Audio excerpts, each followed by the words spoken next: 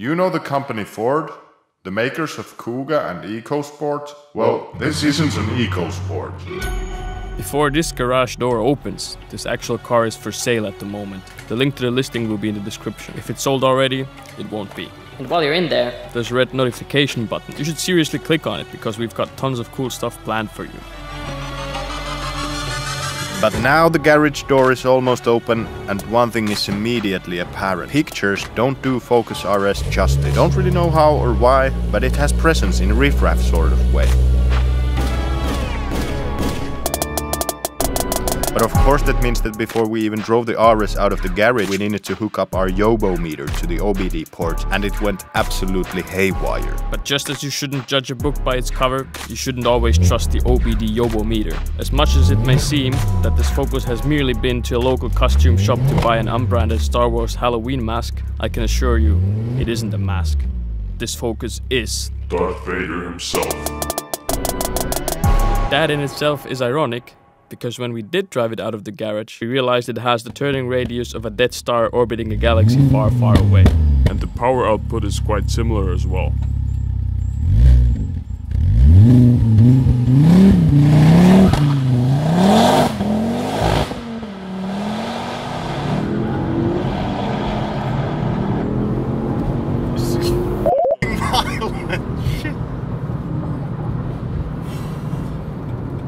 Thoughts of this car being some modern spaceship with having to press three different buttons at the same time to deactivate the stability control were, well, false. Don't let the words like Ford Revo Knuckle or electronic limited slip diff fool you. Especially with this million horsepower tuned version. This car doesn't play Travis Scott via a Bluetooth at Beats headphone. It prefers Led Zeppelin on vinyl. Actually, we're quite sure this thing doesn't even know who Travis Scott or what Blue and Tooth is. The 2.5 liter 5 cylinder engine and its Audi Quattro esque rumble awakens every single cell in us to think that we're driving a modern iteration of a fire breathing late 80s group B monster.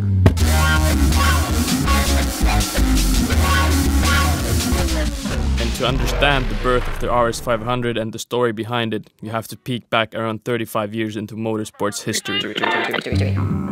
In the late 80s, touring car racing was at its all time popularity high with car makers and F1 drivers trying to find their five minutes of spotlight and manufacturers boosting their car sales on the following Monday of the race. The original Ford Sierra Cosworth RS500 was a glorious result of European race circuit dominance. It was developed from the original base model to its maximum potential through its various evolutions, as they so tastefully call them in the auto industry. Indrush. When you put it in Italian, it's Evoluzione, it's okay, but Evo. Evo. the word of absolute sophistication in automotive world. Back then, the witty engineers at Ford Motorsport figured that bolting a Cosworth engine to a humongous Garrett turbocharger is the reasonable thing to do. Eventually, the dominance of The head-sized turbo on wheels. whistling away became too much for the FIA, and they decided to ban turbos from touring car top group A class altogether. This left the legacy of the RS500 to stick around for future generations. and also enabled it to achieve the cult status. It was the forbidden fruit, The thing that the FIA deemed too dangerous to race. and the cult continued with the focus. Just so we could get punched directly in the stomach by the turbo lag from its 2010 iteration. And that is exactly what this 2010 million horsepower Focus feels like. Push the loud pedal and you're engaged in a three-way boxing match where you're fighting for your life against both Anthony Joshua and Vladimir Klitschko, both of whom seem to only be interested in beating the crap out of you. I know this car has independent steering axis and very clever quaife locking diff, but let's put it this way.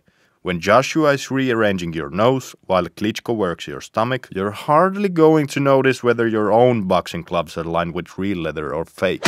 See, kids, this is why you learn history, because it tends to repeat itself.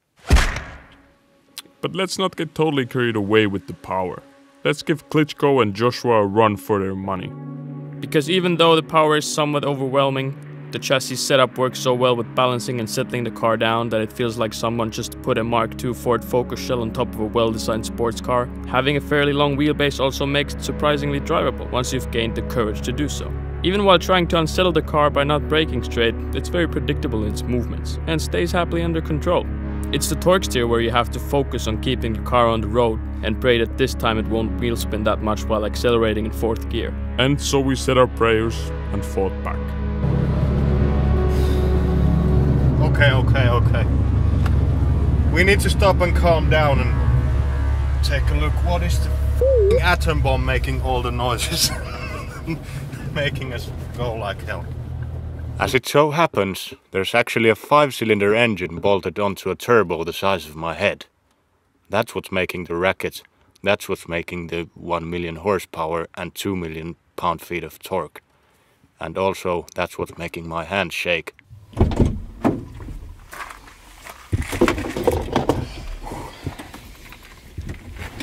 Have we calmed it down? Yeah, I think so. Yeah, what, the biggest thing that surprises me is the fact that there's a huge amount of torque steer and a lot of uh, a lot of turbo lag, which make this makes this car nostalgic in some way. Yeah, I was looking forward for it being like a modern take, modern take on a spo- of a sporty Ford, but actually it hunks back to the 80s and the original Cosworths and RS is way more violent and analog than I thought it would be.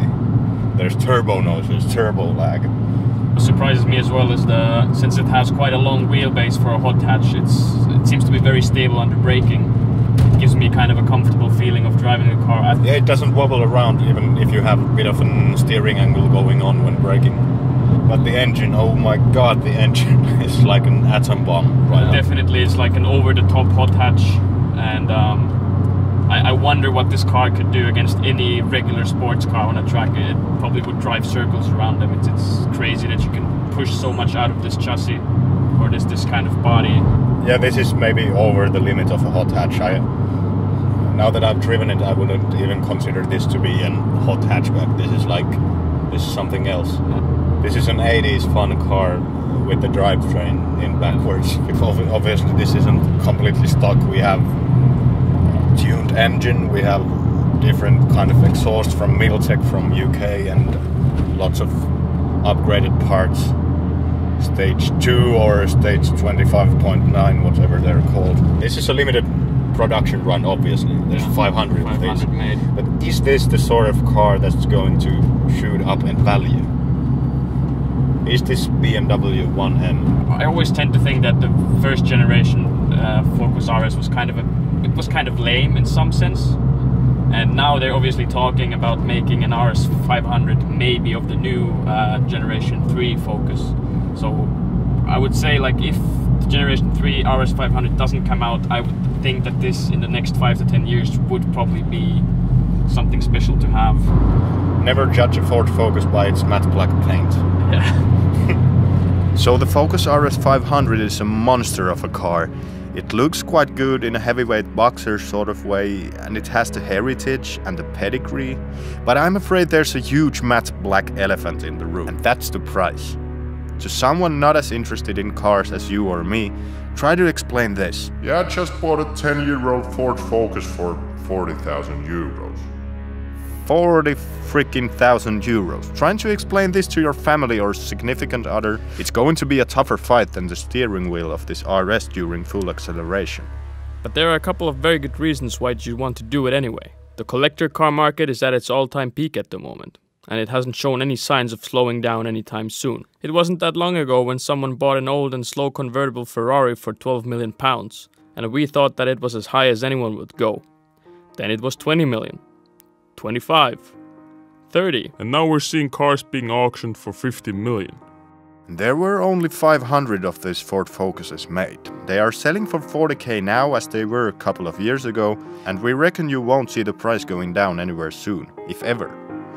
In fact, there's not going to be anything quite like this ever again. There are rumors of the new RS having an exclusive model in the near future, but I guarantee it won't be like this. It will be four-wheel drive and much more sophisticated than this older model ever was. The newer model will know how to hook up Apple CarPlay and doesn't know what vinyl is.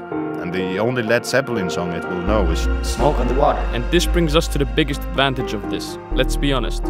A bit dim witted Ford Focus. Just like listening to Since I've Been Loving You from vinyl, rather than blasting the new Travis Scott album via Bluetooth headphones, driving the RS 500 is an event. The owner told us that it certainly is so for him. He usually just drives his van. He brings out the RS500 when he wants to have a bit of fun, not when he's going to be sitting in the morning traffic jam. It's loud, its ride is harsh, it's dangerous. So when you're commuting to work, you don't want to arrive sweaty and exhausted. But if you're going for a drive, you don't care. And for us, it certainly was an event as well. We giggled like little schoolyard chums when we heard the childish turbo noises, and the nature of the power delivery was so aggressive that it made us sweat and giggle even more. Let's put it this way We've been in F12s and Turbo S's and smiled and giggled less. So, if the 40k for a 10 year old Focus seems a bit steep, think of it this way. We're pretty sure you cannot find a Turbo S or F12 Berlinetta for 40k.